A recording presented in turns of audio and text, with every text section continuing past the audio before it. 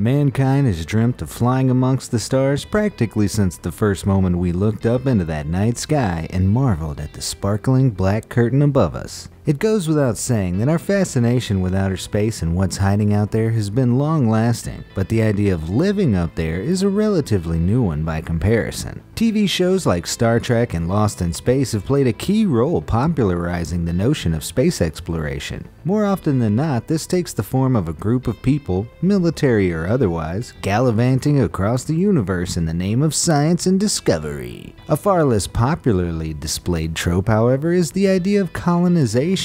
Imagine it, mankind pushing out past our little blue planet for a new, better home.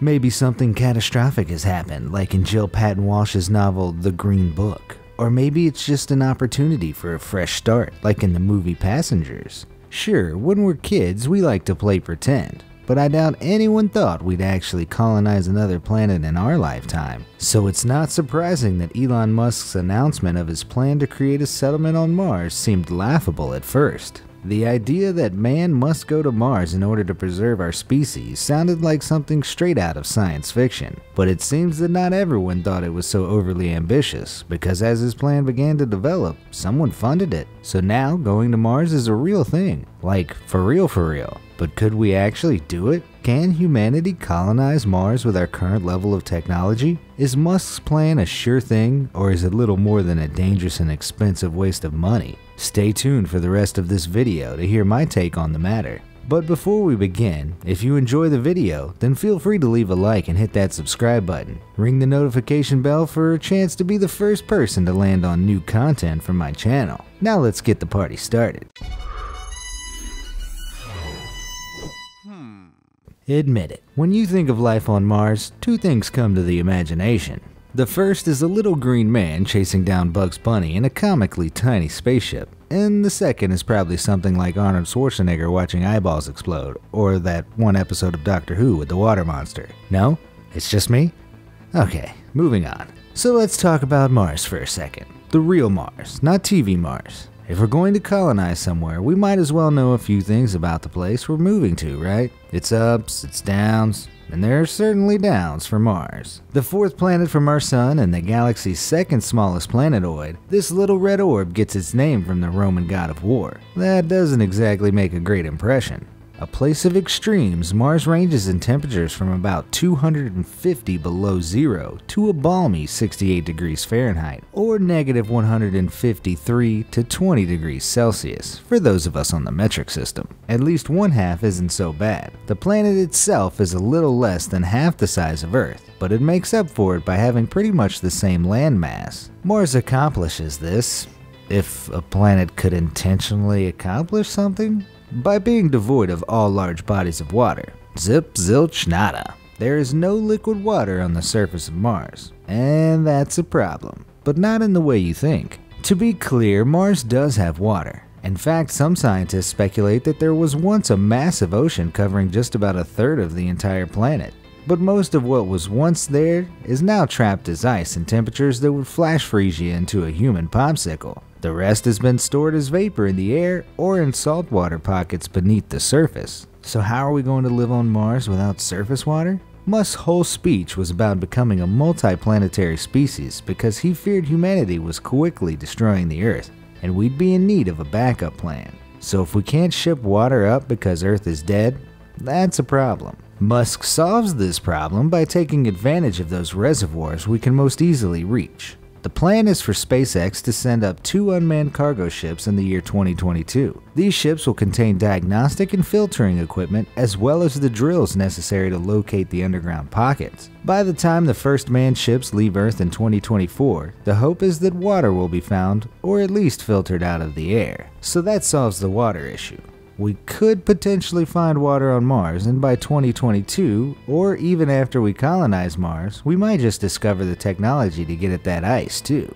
But what about oxygen? Mars's atmosphere is about 100 times thinner than Earth's. It's also about 95% carbon dioxide and only less than 1% oxygen. Humans and our livestock can't breathe on Mars, which means this cute little goat would die. It's hard enough to figuratively live somewhere you can't breathe, let alone somewhere where there literally isn't enough air. At first glance, that seems like a pretty solid deal breaker. But there are a couple ways to work around this problem. One, we could all live in spaceships. A city of ships connected by tunnels where the air is processed, produced, and filtered for human beings is expensive, but not undoable. Plants grown on board ships could help naturally filter out CO2 and produce oxygen gas as a result. There's also the more mechanical methods where what little oxygen there is in the air is filtered out and concentrated before being purified and pumped into the ship city through already existing vents. Or there's option number two crops. There was a time in Earth's history when even our planet had very little oxygen. It wasn't until more modern plants that took advantage of chlorophyll evolved that our atmosphere actually became the breathable gases it is today. If we can manage to plant and grow enough crops on Mars, then we could potentially change the chemical composition of the air into something that's actually usable to us. Plants we eat breathe in CO2 and exhale oxygen, while humans and animals we live with do exactly the opposite. It's part of what makes Earth work, and maybe we could do the same thing on Mars. Okay, we can get water. We have potential access to oxygen. But what happens if the first few people get there and they realize they've made a terrible mistake? This isn't going to work. Humans can't survive there. There's already secretly Martians.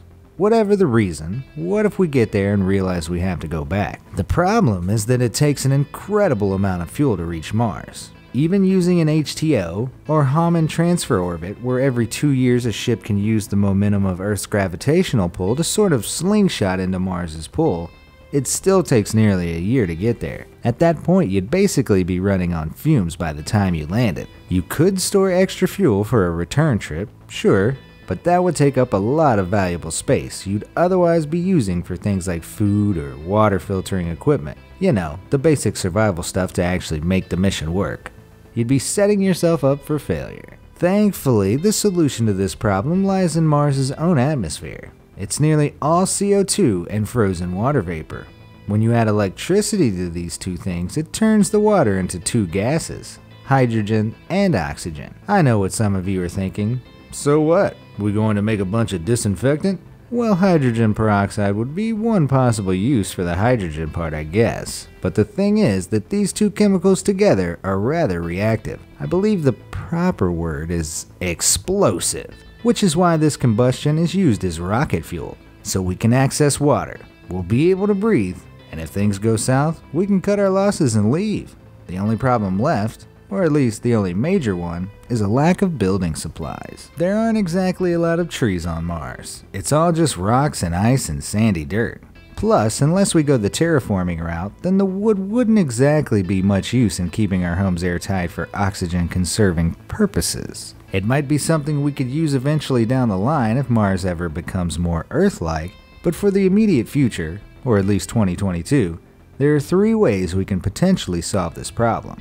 The first option is, of course, the ships we come on and anything we carry with us. Chances are each ship would not only hold its human passengers and their food, but parts for stuff like hallways between ships, small flat panels to make sheds, stuff like that would take up a relatively small amount of room considering. It would certainly take a while to build and build and build up the city into more than a small, simple settlement, but it would definitely be doable. The second possibility would be combining the soil and rocks with water and making a sort of cement to build bricks or set structures with. The process for making cement is actually fairly simple. Raw materials such as limestone and clay are broken down into small pieces and kiln dried.